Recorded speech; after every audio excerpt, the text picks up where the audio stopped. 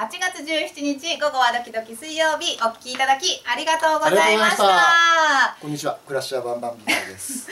わかんないか。わかんないちょっとよくわかんないですけど。クラッシャーバンバンビガロっていうプロレスラーがいてこういうコスチュームだったんです。あーれ煉獄さんみたいだって。あそうそうそういうメールが来てました。そうそう。全然わかんないですまあ 逆にわかんない。はい。ね今日は燃え盛って燃えました盛ってます。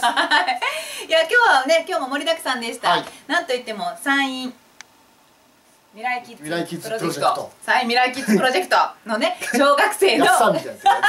やつ来るとしかしみたい。な BSS 山陰放送にお仕事体験をしに来てくれたはい。小学生5人の皆さんをラジオ生出演ということでお迎えしました、はい。みんなしっかりしてる。ねえ。だから珍しくテレビのカメラがこのスタジオに入ってきたからおじさんおばさん緊張しちゃって、はい。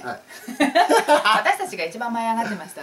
いわゆるごサブにそのお母さんお父さんもねいらっしゃってあすごくたくさんいらっしゃってもう我々の参観日みたいですねって言ってなんか 反応来ると思ったんですけど皆さん冷静に見てらっしゃったんです。あれで余計緊張したって。いう本当に困ったもんだもう皆さんねでもいい体験をね、はい。してもらいたいですよね、はい。今もまあまだなおね、うん。他のテレビの体験もしてますから、子供たちにねこれをきっかけに何かいい夢を見られることになったらいいなと思いますね、そしてアナウンサーになるなら BSS で。